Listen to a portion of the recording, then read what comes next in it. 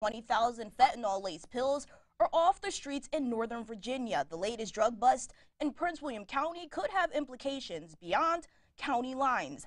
Max Marcilla jo joins us live with the latest on the department's efforts to curb the rise in opioid overdoses. Max?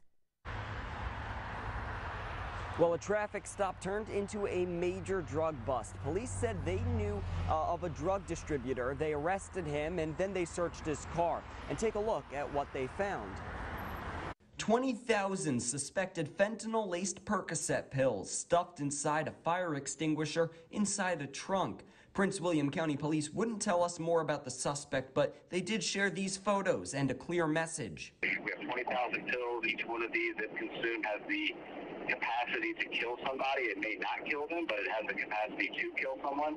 Um, so it's very important that these, these pills are taken off the street. This is the latest in a string of recent busts in the county. In May, 5,000 fentanyl-laced pills were seized and four people were arrested. Those distributors were linked to fatalities in the county. And less than two weeks ago, a Woodbridge man pleaded guilty in federal court to possession with intent to distribute. He was found to have 14,000 counterfeit pills.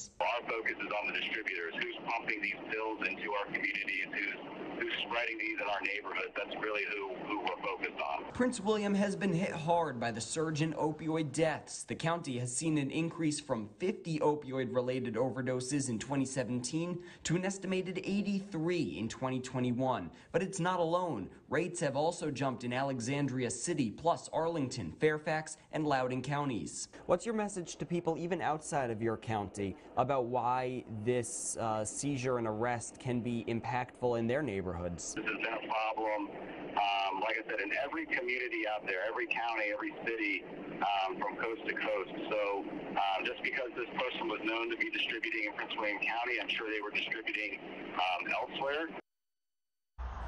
So police have not been able to link this seizure and this arrest of a drug, drug distributor to any known deaths or uh, in, in the county or otherwise in Northern Virginia. But they say that is definitely going to be a part of their investigation, which is still in the early stages. Reporting live in Prince William County, I'm Max Marcilla.